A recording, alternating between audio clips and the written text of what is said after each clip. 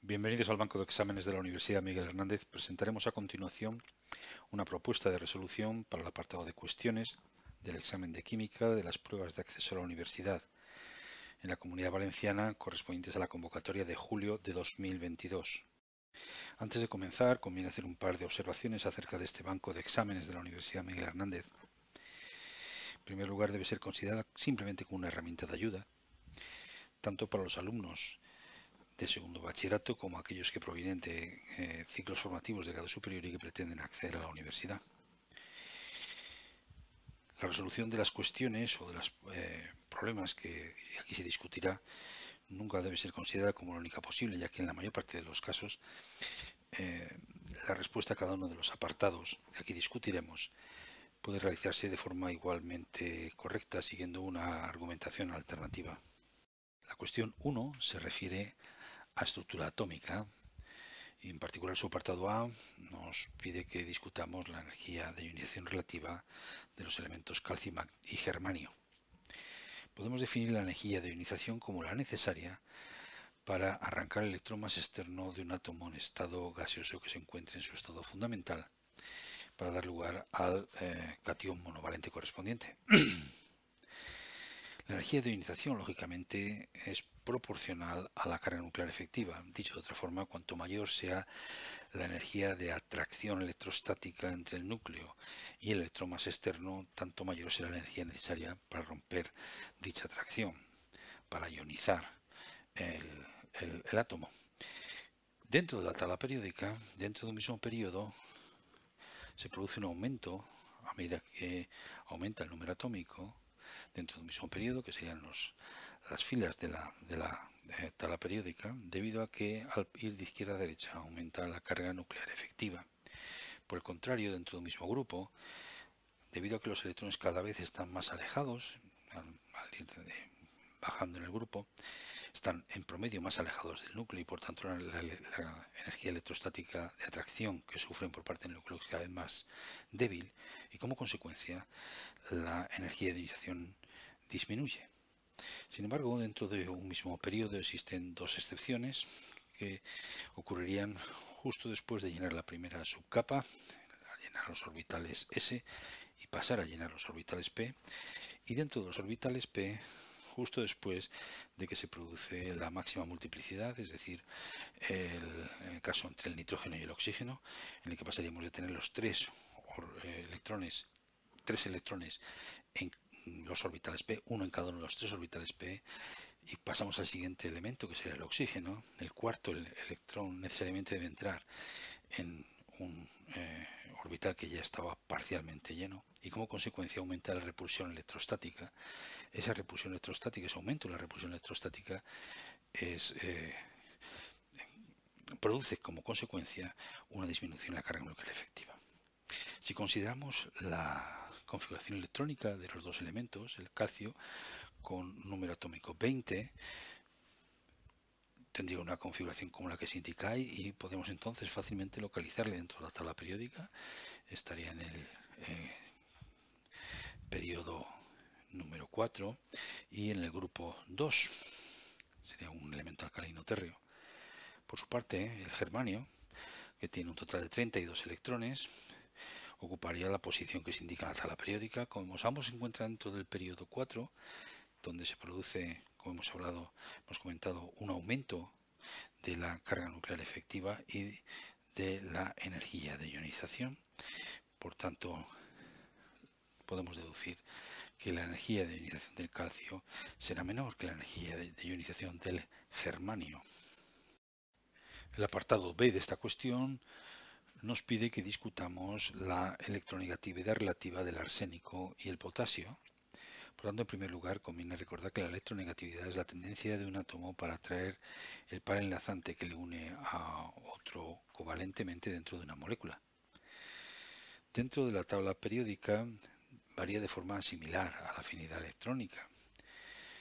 Es decir, dentro de un periodo aumenta monotónicamente al aumentar el número atómico, es decir, aumenta de izquierda a derecha, y nuevamente disminuye a medida que bajamos en la tabla periódica partir de la configuración electrónica del potasio y del arsénico, observamos que se localizan en el mismo periodo, el periodo, el periodo 4, cuarto, ya que se está llenando el nivel n igual a 4, siendo el número cuántico principal, y por tanto el arsénico se encuentra a la derecha del potasio. Por tanto, del potasio al arsénico irá aumentando la electronegatividad y como consecuencia podemos deducir que el arsénico será bastante más electronegativo que el potasio. El apartado C nos pide que discutamos el radio atómico relativo del magnesio y el cloro. El radio atómico se define como la mitad de la distancia entre dos núcleos de átomos idénticos que estén unidos entre sí. El radio atómico, lógicamente, tiene mucho que ver con la fuerza electrostática con la que el núcleo atrae a los electrones más externos y por tanto disminuye a medida que aumenta la carga nuclear efectiva. Es por tanto que el radio atómico disminuye monotónicamente de izquierda a derecha en la tabla periódica dentro de un mismo grupo, perdón, dentro de un mismo periodo. El número atómico irá aumentando y como consecuencia la carga nuclear efectiva, haciendo que el eh, átomo sea, tenga un radio cada vez más pequeño. Sin embargo, dentro de un grupo, a medida que nos desplazamos dentro de un grupo hacia abajo en la tabla periódica, el tamaño de los orbitales aumenta y por tanto la distancia promedio de esos electrones más externos respecto del núcleo será más grande. Por tanto, al estar más alejados, la energía de atracción electrostática es más débil y por tanto el radio atómico es más grande, el átomo se hace más grande. A partir de la configuración electrónica del magnesio y del cloro podemos localizarles fácilmente dentro de la tabla periódica y vemos que ocupan los tres, los dos, perdón, tanto el magnesio como el cloro están llenando el nivel n igual a 3, por tanto están en el periodo 3 y el magnesio está a la izquierda del cloro. El magnesio es un metal alcalino térreo y el cloro es un halógeno. Por tanto, es evidente que la carga nuclear efectiva del cloro es mayor que la carga nuclear efectiva del magnesio y como consecuencia el radio atómico del cloro será menor que el radio atómico del magnesio. La cuestión 2 se refiere a estructura molecular y en particular nos pide en el apartado A que obtengamos la estructura de Lewis del freón y del metanal. Comenzando con el freón, lo primero que hacemos es obtener la configuración electrónica de los tres átomos que conforman la molécula y nos fijamos exclusivamente en sus electrones de valencia. Así el carbono nos interesan solo la capa que está siendo llenada, es decir, en este caso es la capa n igual a 2. El carbono tendría una, configuración electrónica en la capa de valencia 2s2, 2p2 el flúor 2s2, 2p5 y el cloro la misma, pero para el nivel n igual a 3, 3s2, 3p5. Contamos ahora el número total de electrones de valencia que contiene la molécula. En este caso tendrá los cuatro electrones de la capa de valencia del carbono más dos veces, porque hay dos átomos de flúor, por el número de electrones de la capa de valencia del flúor, que es 7, más dos eh, átomos de cloro por 7 electrones en su capa de valencia, Quiere decir que la molécula de freón tiene un total de 32 electrones, o lo que es lo mismo, 16 pares electrónicos.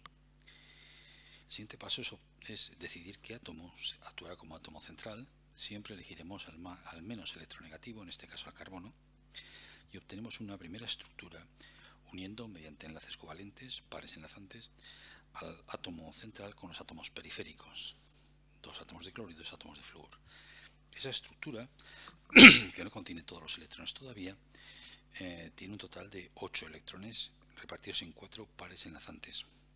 Nos faltan, por tanto, hemos puesto, he dicho, 4 pares enlazantes, faltan un total de 12 eh, pares electrónicos, ya que hay que llegar al número de 16. Por tanto, el resto, la diferencia entre esos 4 pares enlazantes y el 16 total es los 12 pares los electrónicos los colocaremos como pares solitarios en los átomos periféricos. Pondremos un total de tres pares solitarios en cada uno de los átomos periféricos de flúor y cloro. En este momento esa estructura tiene los 16 pares electrónicos, cada uno de los átomos cumple la regla del octete, flúor y cloro están rodeados de 8 electrones, 6 en 3 pares solitarios y un par enlazante, y carbono está rodeado también, de 8 electrones de cuatro pares eh, electrónicos enlazantes. Para finalizar, calculamos las cargas formales de cada uno de los átomos de la molécula. La carga formal se define como la diferencia entre el número de electrones del átomo libre menos el número de electrones que le rodean en la molécula como pares solitarios menos la mitad de los electrones que le rodean como pares enlazantes. Así, por ejemplo, en el caso del carbono, como átomo libre tiene una configuración de 2s2-2p2, quiere decir que tiene 4 electrones, le restamos los que le rodean como pares solitarios, que en este caso es 0, y eh, menos un medio de los que le rodean como pares enlazantes, tiene 4 pares enlazantes alrededor, 4 por 2 serán 8, eso quiere decir que la carga formal del carbono es igual a cero. También lo es en el caso del flúor y el cloro, ya que eh, lo obtendríamos como 7 electrones que cada uno de ellos tiene como átomo libre, menos los 6 electrones que les rodean al flúor o al cloro en pares solitarios, menos un medio de los dos electrones del par enlazante. Por tanto, la carga formal es nula y por tanto la estructura de Lewis obtenida es la estructura correcta, es la estructura de Lewis definitiva.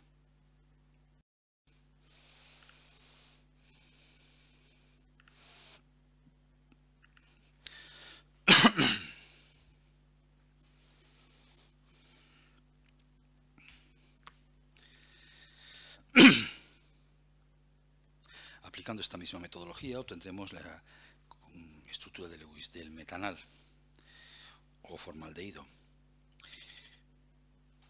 Consideramos los tres átomos que conforman la molécula, hidrógeno, carbono y oxígeno, y a partir de su configuración electrónica en la capa de valencia obtenemos el número total de electrones que eh, contiene la molécula en la capa de valencia. Serán 2 por 1 mm, por el electrón del hidrógeno, más 4 electrones del carbono como átomo libre, más 6 electrones del oxígeno, más la carga si fuera una molécula cargada, en este caso la carga es nula, nos hace un total de 12 electrones, o lo que quiere decir lo que es lo mismo, seis pares electrónicos. El átomo central nuevamente será el carbono, que es el menos electronegativo, y unimos el carbono a los tres átomos periféricos, a los dos átomos de hidrógeno y al átomo de oxígeno, mediante pares enlazantes. Esa estructura inicial tiene un total de seis electrones en tres pares enlazantes. Como la molécula contiene un total de seis pares electrónicos, nos falta de asignar tres pares electrónicos que los colocaremos como pares solitarios sobre los átomos periféricos, en este caso únicamente sobre el oxígeno. De esta forma el oxígeno se rodea ahora de 8 electrones, cumpliendo la regla del octete. El hidrógeno, lógicamente, no cabe eh, colocar pares electrónicos solitarios, puesto que únicamente puede soportar dos electrones a su alrededor, ya que dispone únicamente de orbitales 1s. Antes de finalizar y para detectar si existen dobles enlaces, calculamos las cargas formales en este caso, en el caso del hidrógeno, la carga formal es nula, pero no así en el caso del carbono y el oxígeno. En el carbono como átomo libre tenemos 4 electrones, menos 0 electrones porque no le rodean pares solitarios, menos un medio de un total de 6 electrones que le rodean como pares enlazantes, sería 4 menos un medio de 6 sería eh, más 1, tiene una carga formal de más 1, mientras que el oxígeno tiene una carga formal de menos 1 que se calcula como 6 electrones como átomo libre, menos 6 electrones en los tres pares eh, solitarios que le rodean, menos un medio de los dos electrones del par enlazante que le une al carbono. Carga formal del oxígeno, por tanto, es menos 1. Tenemos, por tanto, una estructura de Lewis eh, similar a la anterior, pero con cargas formales, carga negativa sobre el oxígeno, carga positiva sobre el carbono. La estructura definitiva será aquella en la que, compatible con la estructura obtenida anteriormente, se reduzca al máximo el número de cargas formales. En un caso en el que tenemos, como en este caso, un átomo con carga negativa, carga parcial, carga eh, formal negativa, unida a otro átomo con una carga formal positiva, podemos reducir la carga de ambos si transformamos un par solitario en enlazante. De tal forma que ahora el carbono y el átomo de carbono se uniría al átomo de oxígeno mediante un enlace doble. El oxígeno tendría dos pares electrónicos solitarios. Observamos que alrededor del oxígeno se cumple la red del octete, también alrededor del átomo de carbono. Si ahora calculamos las cargas formales, observamos que son nulas para todos los tres átomos que conforman los cuatro átomos que conforman la molécula y por tanto consideramos que es la estructura definitiva en la que el carbono se une mediante un doble enlace al oxígeno al carbono le rodean 8 electrones en pares enlazantes y al oxígeno 8 electrones, 4 en pares enlazantes y 4 en pares solitarios. El apartado B de esta segunda cuestión nos pide que deduzcamos o indiquemos la hibridación del átomo de carbono en cada una de las dos moléculas. En el caso de la molécula de freón, hemos visto su estructura de Lewis. Para deducir la hibridación simplemente debemos de calcular el número de átomos que rodean al átomo central más el número de pares electrónicos sobre el átomo central. En este caso tenemos cuatro átomos, dos de cloro y dos de flúor, más cero electrones, cero pares electrónicos solitarios porque el carbono no soporta, eh, como se ve en la estructura de Lewis, ningún par solitario. Ese número, 4, debe ser igual al número de orbitales híbridos. Por tanto, es evidente que la hibridación ha de ser una hibridación sp3 en la que un orbital s y los tres orbitales p, px, p y pz, se mezclan, se obtiene su combinación lineal, se obtienen cuatro orbitales híbridos idénticos que tienen propiedades tanto de los orbitales S como de los orbitales P. En realidad sabemos que se dirigen a los vértices de un tetraedro. Si eh, nos fijamos en los cuatro orbitales híbridos creados, y tenemos un total de 4 electrones en el carbono, observamos ahora que el carbono tiene 4 electrones desapareados en los orbitales sp3. Cada uno de esos eh, electrones desapareados formará un par enlazante mediante eh, apareamiento con el electrón eh, libre, el electrón desapareado de flúor o de cloro, dando lugar a la molécula que hemos visto de freón. En el caso del metanal, su estructura nos indica que tenemos un total de tres átomos que rodean el átomo central, dos de hidrógeno y uno de carbono, y tampoco tiene pares electrónicos solitarios alrededor del carbono. Por tanto, en este caso le rodean tres átomos y por tanto deben ser tres los orbitales híbridos necesarios. Por tanto, tomamos un orbital S y dos orbitales P, pongamos que son el PX y el PI, y formamos por tanto tres orbitales idénticos SP2 que están en el plano XY y se dirigen hacia los vértices de un triángulo equilátero. El orbital P, que no ha sido hibridado, permanecerá perpendicular. Si lo vemos en el diagrama de cajas, ahora los cuatro electrones del carbono se disponen tres desapareados en los orbitales sp2, como digo, en el plano XY. Los, los orbitales híbridos sp2 se dirigen a los vértices de un triángulo equilátero. perpendicular a este plano está el enlace PZ, el orbital PZ, perdón, donde se aloja un cuarto electrón. Habrá un total de cuatro enlaces. Los tres enlaces sigma se forman por solapamiento frontal en el plano XY y el enlace pi, el enlace doble, se forma con los orbitales PZ perpendiculares a este plano. La cuestión 3 nos pregunta acerca de la geometría de cada una de estas moléculas en primer lugar debemos de hacer eh, la diferenciación en lo que es la disposición geométrica de los pares enlazantes o solitarios que rodean el átomo central, es decir, cómo se disponen geométricamente todos los eh, pares electrónicos que rodean el átomo central, sean, siendo estos, sean estos eh, enlazantes o, solitarios, y la geometría que viene dado por la disposición espacial de los átomos que rodean el átomo central, no de los pares electrónicos, de los átomos. En el caso de eh, el freón, hemos visto que su estructura de Lewis le rodea un total de cuatro pares enlazantes. Eso quiere decir que esos cuatro pares enlazantes se dispondrán en los vértices de un tetraedro por tanto la disposición de los pares electrónicos es tetraédrica y la geometría que es la disposición de los átomos que rodean el átomo central es la misma, es también tetraédrica. Los átomos de flúor y cloro ocuparían los vértices de un tetraedro alojándose el carbono en el centro de esta figura geométrica. En el caso del metanal, tenemos un total de tres eh, eh, átomos que rodean el átomo central. Eso quiere decir que su disposición será plana trigonal y como no tiene pares solitarios, la disposición geométrica de los pares eh, electrónicos coincide con la geometría de la molécula. La molécula de por tanto, deducimos que tiene una geometría plana trigonal. Por último, el apartado D de esta cuestión nos pide que discutamos la polaridad de cada de las moléculas y para ello nos dan como datos las electronegatividades en la escala de Pauling. El momento dipolar es una magnitud vectorial y se puede obtener como la suma vectorial de los momentos de enlace. Mu sería el momento dipolar como suma vectorial, repito, de los momentos de enlace mu sub i. Estos momentos de enlace eh, se pueden definir como un vector cuya dirección es la del enlace que une los dos átomos. El sentido es hacia el átomo más electronegativo y su módulo es proporcional a la diferencia de electronegatividades entre los átomos enlazados. Dicho de otra forma, cuanto mayor sea la diferencia entre las electronegatividades de los átomos que se enlazan, mayor es la electronegatividad, por tanto mayor es el módulo de este vector. Aplicando estos breves, eh, estas nociones, podemos deducir fácilmente que el freón, vamos a ver que es una molécula polar, debido a que en su estructura de Lewis, tetraédrica como hemos discutido anteriormente, el flúor es más electronegativo que el carbono y el cloro también lo es. Por tanto, hay momentos de enlace en los eh, enlaces carbono-flúor, esos módulos, esos vectores, momentos de enlace van dirigidos hacia el flúor, que es el más electronegativo, y también es, un enlace polar el enlace carbono-cloro. Como se indica en la figura, debido a que la diferencia de electronegatividad entre el cloro y el carbono es menor que entre el flúor y el carbono, los momentos de enlace carbono-cloro, su módulo es ligeramente menor.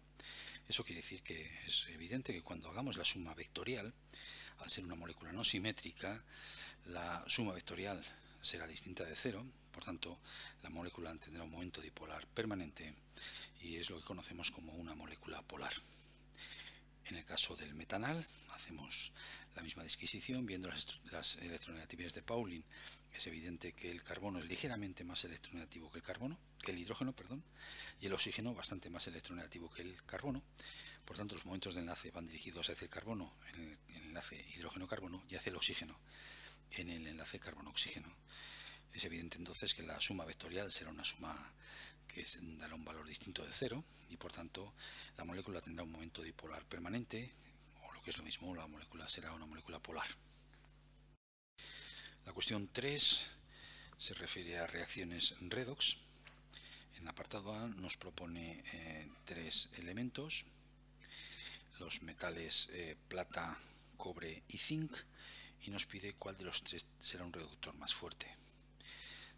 Como dato nos dan los potenciales estándar de reducción de estos tres eh, de estas especies, plata más para dar plata, cobre 2 más para dar cobre y zinc 2 más para dar zinc. El potencial de reducción es una medida cuantitativa de la tendencia de un metal a oxidarse. Cuanto más negativo es el potencial de reducción, mayor es la capacidad de este metal para oxidarse y producir, por tanto, electrones que posteriormente serán los que permitan la reducción de las especies. Por tanto, la capacidad oxidante de un metal es eh, también una medida de su capacidad reductora. Cuanto mayor es la capacidad, su tendencia a oxidarse, también será mayor su capacidad reductora, ya que podrá acceder más fácilmente electrones que reduzcan otras especies. Por tanto, el zinc es la especie más, eh, con capacidad más reductora. Si hablamos de potenciales de oxidación en vez de potenciales de reducción, cuando el zinc se transforma en zinc 2 y libera dos electrones, se oxida a zinc 2 su potencial de oxidación es más 0,76, que es significativamente más grande que el del cobre, menos 0,34, y más aún que el de la plata, menos 0,80. Por tanto, que los potenciales de oxidación sean mayores del zinc, del cobre y la plata, hace que ese sea el orden en que eh, podemos clasificar estos metales como por su capacidad reductora.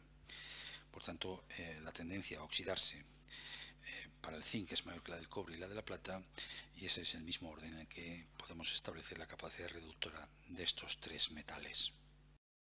El apartado B nos indica que hemos construido una pila galvánica utilizando una disolución de plata, nitrato de plata, plata más, en la que se ha sumergido una placa de plata metálica y una disolución de zinc en la que se ha sumergido un electrodo de zinc metálico. ¿Cuál de los dos electrones, de los electrodos, perdón, funciona como cátodo y como ánodo? Y eh, nos pide también que calculemos el potencial estándar de la pila. Dado que el potencial de reducción del zinc 2 más a zinc, que es menos 0,76, es más negativo que el de la plata, que es más 0,80, quiere decir que en la pila se producirá la oxidación del zinc metálico y la reducción de la plata. Recordando lo que hemos visto en el apartado anterior, cuanto más negativo es el potencial de reducción de, un metal, mayor es su tendencia a oxidarse. Para confirmar que esto es así, vamos a escribir las dos semireacciones, vamos a ajustar la reacción iónica global. La oxidación implicaría la disolución del zinc para dar zinc 2 más, liberando dos, electrones. Esos dos electrones son los que permiten la reducción de dos em, iones plata, plata más, para dar dos átomos de plata metálica. La reacción global simplemente se ajusta haciendo que el número de electrones cedidos en la oxidación sea igual al número de electrones eh, absorbidos en la, o consumidos en la reducción. Por tanto, un mol de zinc metálico reaccionaría con dos moles de plata, eh, cation plata, daría lugar a dos mol de, zinc, eh, ion zinc, dos más, más dos moles de plata sólida. El potencial de la reacción será igual al potencial de oxidación de la reacción de oxidación más el potencial de reducción de la reacción de reducción. El potencial de oxidación del zinc es igual a menos el potencial de reducción del mismo, por tanto sería menos, menos 0,76. Menos 0,76 es el potencial de reducción de, del zinc, que debemos de cambiar de signo, ya que no se reduce, sino que se oxida el zinc metálico, y le sumamos a 0,80, que es el potencial de reducción de la plata, más para dar lugar a plata. Eso hace que el potencial normal, el potencial en condiciones estándar, cuando las concentraciones en las disoluciones eh, de plata y zinc sea 1 molar, el potencial de la reacción sea 1,56 voltios, que es positivo, y hace que la reacción sea espontánea. en realidad podemos representar la pila mediante dos disoluciones, una que contiene zinc, sulfato de zinc en concentración 1 molar, y un electrodo de zinc. En él se van a producir la oxidación, si vemos las reacciones de la izquierda, vemos que el zinc se transforma en zinc 2 más, esa placa de zinc se irá disolviendo, esos dos electrones que se han cedido recorrerán el circuito, llegarán al otro electrodo que será el de plata y en el electrodo de plata la plata de la disolución se irá depositando sobre el electrodo de plata, la plata catiónica se transforma en plata metálica. Por tanto, definimos el ánodo como electrodo en el cual se produce la oxidación. Es evidente que en este caso el zinc, la placa de zinc actúa como ánodo y por el contrario el, eh, la plata actúa como cátodo, reacción donde se produce la reducción. En consecuencia, como hemos visto, al funcionamiento de la pila, que produce una diferencia de potencial de 1,56 voltios en condiciones estándar, implicaría la eh, progresiva disolución del electrodo de zinc y eh, el progresivo aumento de tamaño debido, del, cátodo debido a la deposición de la plata sobre su superficie. El apartado C nos plantea la situación en que una lámina de zinc metálico se introduce una disolución que contiene iones cobre 2 provenientes de el eh, nitrato de cobre y nos pregunta si pasados unos minutos la lámina de zinc habrá aumentado su masa o si por el contrario la habrá disminuido. El hecho que el potencial eh, de reducción del zinc sea más negativo que el potencial de reducción del cobre 2 más a cobre, lo que nos indica es que la reacción, en esta reacción se producirá de forma espontánea la oxidación del zinc y la reducción del cobre. Dicho de otra forma, el potencial de reducción nos indica la mayor tendencia del cobre 2 más a reducirse que la del zinc 2 más a hacerlo. Para comprobar que eso es cierto, Mm, escribimos las semireacciones en la que el zinc, en la oxidación, el zinc sólido metálico se transforma en zinc 2 más, de dos electrones que permiten la reducción del cobre 2 más para dar cobre. El potencial de la reacción cuando le calculamos como menos el potencial de, de, reducción del zinc 2 más a zinc más el potencial de reducción del cobre 2 más a cobre, obtenemos que el potencial de la reacción es más 1,10 voltios, que es positivo, por tanto la reacción es espontánea. Lo que ocurre entonces, como se observa, es la lámina de zinc se irá disolviendo a medida que avanza la reacción, se oxidará a zinc 2 pasará a una forma soluble, se disolverá el zinc 2 en la disolución, mientras que eh, el cobre 2 irá transformándose en cobre 0. La masa de zinc, por tanto, irá disminuyendo a medida que avanza la reacción como consecuencia de su oxidación espontánea. La cuestión 4 se refiere a reacciones ácido-base nos propone que consideremos cuatro disoluciones. La disolución A contiene ácido clorhídrico, la disolución B sosa cáustica NaOH, la disolución C ácido fluorhídrico y la disolución de amoníaco. Todas ellas tienen idéntica concentración 0,1 molar. Y nos pide que discutamos si las afirmaciones que se nos dan son verdaderas o falsas. En la primera se afirma que el pH de la disolución A es mayor que el pH de la disolución C. La disolución A contiene ácido clorhídrico, es un ácido fuerte y por tanto se disocia completamente. Eso quiere decir que eh, la concentración inicial de ácido clorhídrico 0,1 molar es igual a la concentración de protones en el medio. Es decir, el ácido clorhídrico se disocia completamente para dar lugar a los protones y al ion cloruro. Por el contrario, el ácido fluorhídrico es un ácido débil, como vemos en los datos, la constante de disociación ácida K sub A es, eh, alcanza un valor de 6,6 por 10 a menos 4 a 25 grados centígrados. Quiere decir que su disociación es parcial, se establece el equilibrio entre el eh, fluoruro de hidrógeno en disolución acuosa y eh, sus iones fluoruro y protones.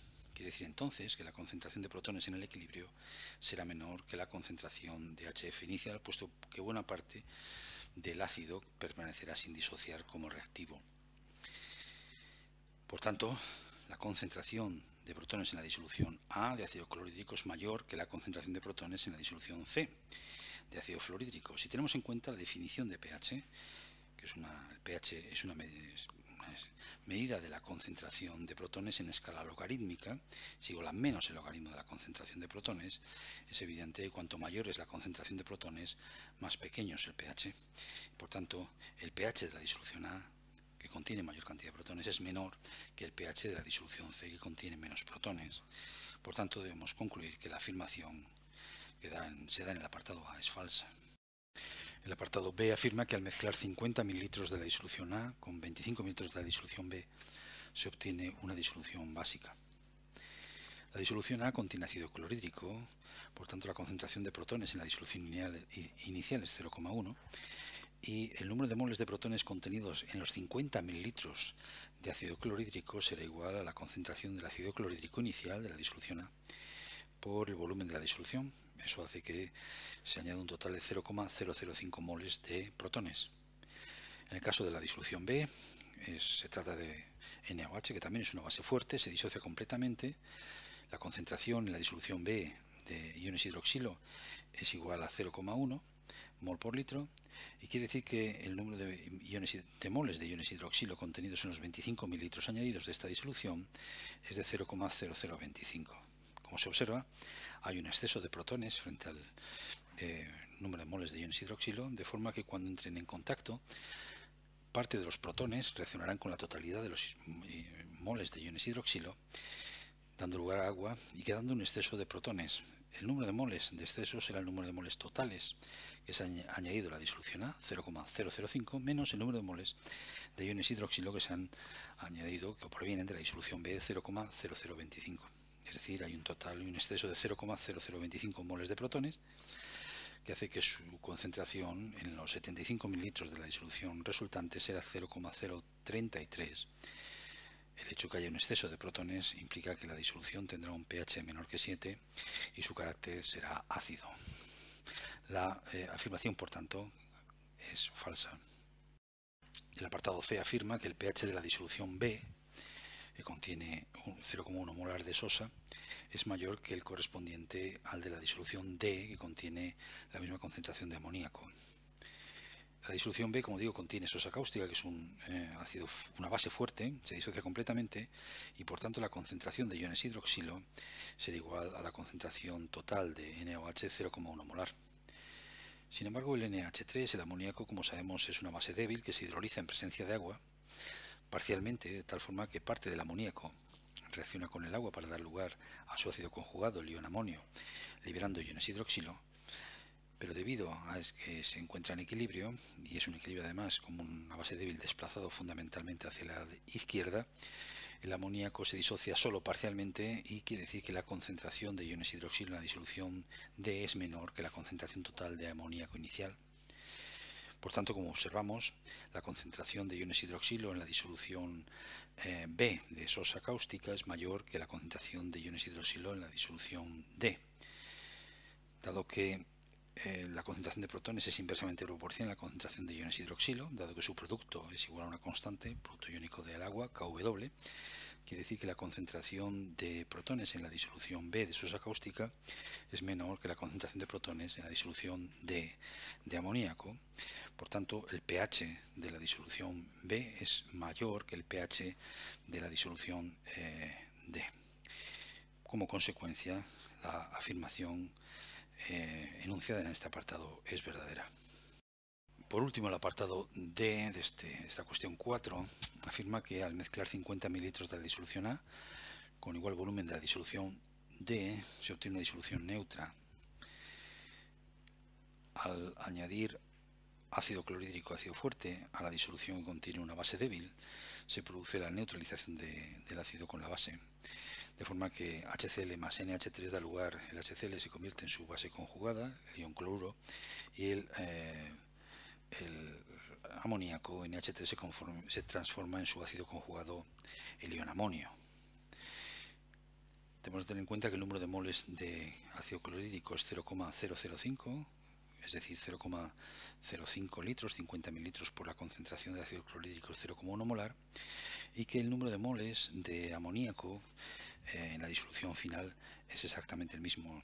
Dicho de otra forma, la reacción de neutralización se realiza de forma equimolar, se añaden cantidades estequiométricamente equivalentes, de forma que todos los iones, todas las moléculas, los moles de HCl y NH3 se transforman en cloruro y ion amonio. Al finalizar la reacción, habrá desaparecido el ácido clorhídrico y el amoníaco, dando lugar a, un número de moles igual de ion amonio. Por tanto, la disolución en estos momentos, la disolución resultante, contiene únicamente el ion amonio, también cloruro y agua.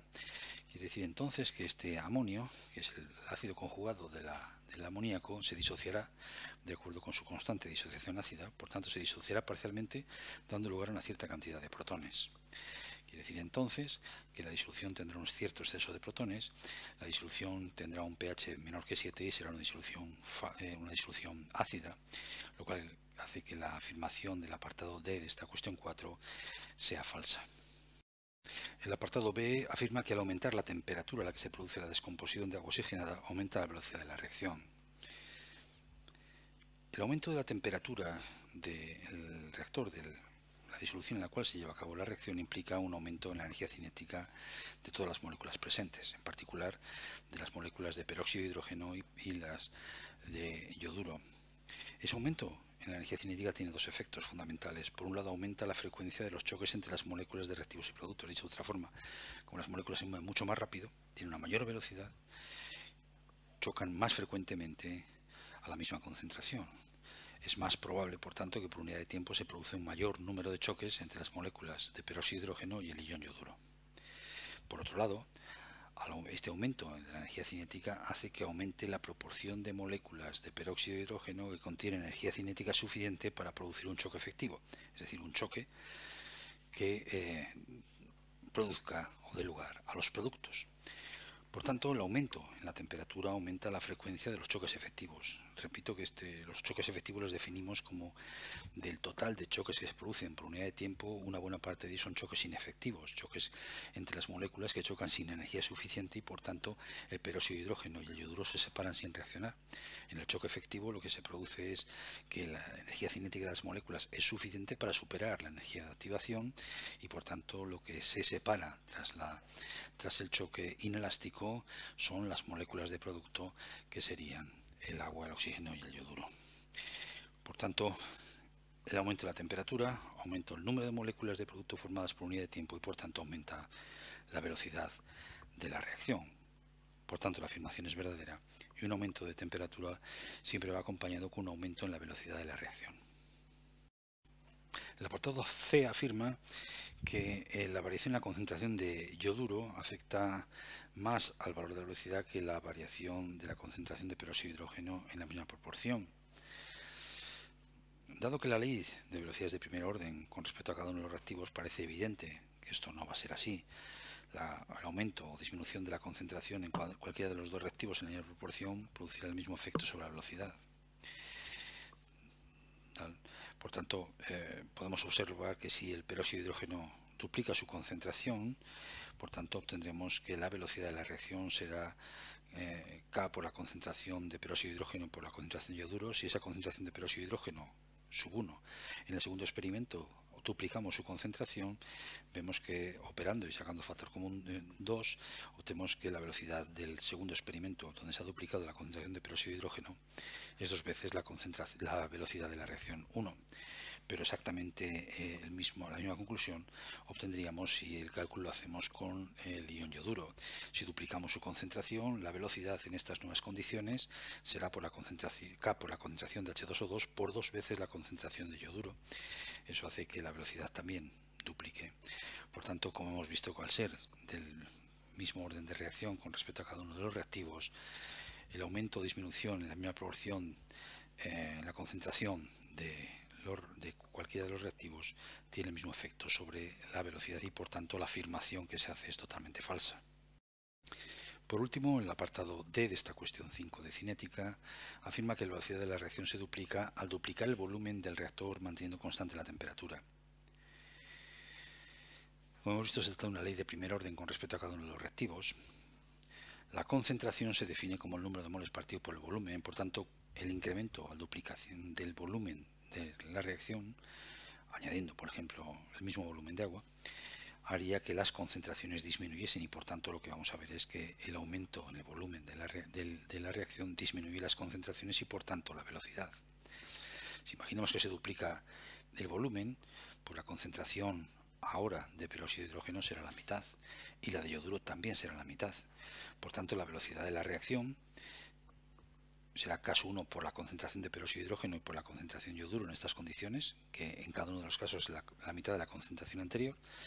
Observamos que la velocidad de este segundo experimento, habiendo diluido a la mitad, habiendo diluido a la mitad, aumentando el volumen de la reacción a la mitad, hace que la velocidad sea una cuarta parte. Dicho de otra forma, un aumento en el volumen de la reactor del volumen de la disolución en la cual se lleva a cabo la reacción produce una disminución en las concentraciones y como estas son proporcionales a la velocidad, la consecuente reducción de la velocidad de la reacción.